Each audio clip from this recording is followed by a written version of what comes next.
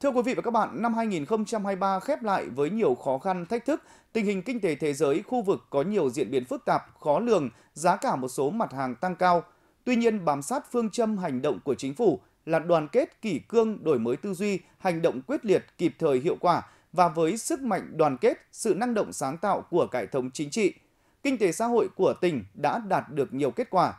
Trước thềm xuân mới năm 2024, phóng viên thời sự đã có cuộc phỏng vấn đồng chí Bùi Văn Khánh, Chủ tịch Ủy ban Nhân dân tỉnh Hòa Bình. Mời quý vị và các bạn cùng theo dõi.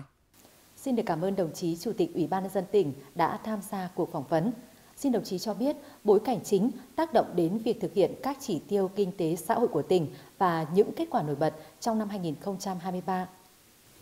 ờ, có thể nói là năm 2023 là một cái năm ờ, cũng có thuận lợi và đặc biệt tôi thấy nhiều khó khăn do cái tác động ờ, từ bên ngoài, tức là tình hình thế giới, xung đột, quân sự, rồi là tình hình về kinh tế vĩ mô và thị trường bất động sản.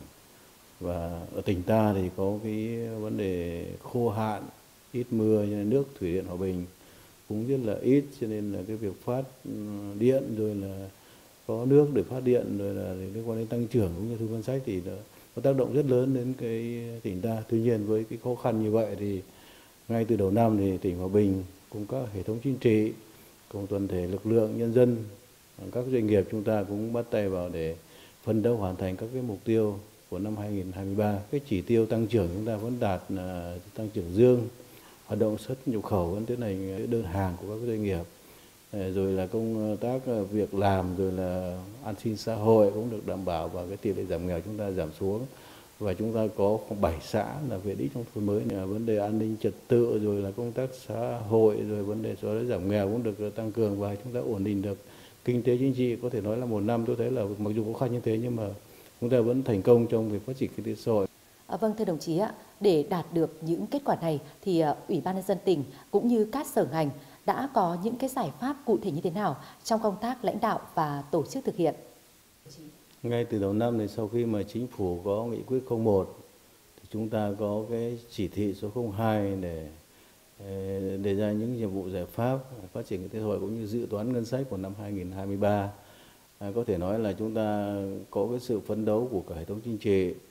các đồng chí lãnh đạo các uh, tỉnh ủy rồi là hội đồng nhân dân, ủy ban nhân dân và các sở ban ngành cũng như các huyện thành phố cán toàn thể cán bộ công chức viên chức và người dân chúng ta cũng các doanh nghiệp chúng ta cũng cùng nhau để chúng ta phấn đấu để vượt qua. Đồng chí nhận định như thế nào về những cơ hội và thách thức của tỉnh Hòa Bình đối với sự phát triển kinh tế xã hội trong năm 2024? Năm 2024 thì tôi thấy rằng là cái ờ, khó khăn của năm 2023 nó vẫn cứ chuyển sang. Như vậy là về điều hành rất là linh hoạt, các cái uh, sở ngành rồi lãnh đạo của tỉnh luôn luôn nắm bắt tình hình thực tế thì chúng ta có cái, cái giải thức cách thức điều hành thô nỗ lực cố gắng của cả hệ thống chính trị rồi người dân lực lượng vũ trang và toàn thể các doanh nghiệp cũng phải xuống tay vào để chúng ta mới hoàn thành được cái nhiệm vụ của mình. Xin đồng chí cho biết những cái giải pháp đột phá và quyết tâm chính trị của tỉnh Hòa Bình nhằm thực hiện thắng lợi các chỉ tiêu kế hoạch trong năm 2024, nhất là chỉ tiêu về tốc độ tăng trưởng kinh tế, thu ngân sách nhà nước tăng trưởng chúng ta vẫn giữ cái mức là khoảng 9% một năm thì tôi nghĩ là có thể đạt được. Và cái thu ngân sách ờ, năm tới là chúng ta cố gắng là thu trên 5.700 khoảng 5.700 tỷ.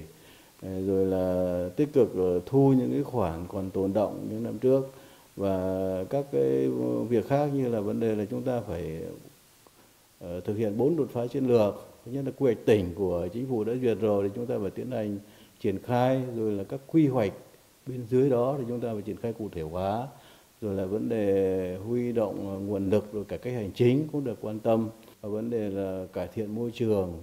ờ, đầu tư, rồi là vấn đề hạ tầng, kinh tế xã hội cũng được quan tâm. Và chúng ta đầu tư vào những cái lĩnh vực giao thông, các cái dự án lớn để để vực dậy toàn bộ cái mạch máu giao thông của tỉnh nhà để cho cái lưu thông hàng hóa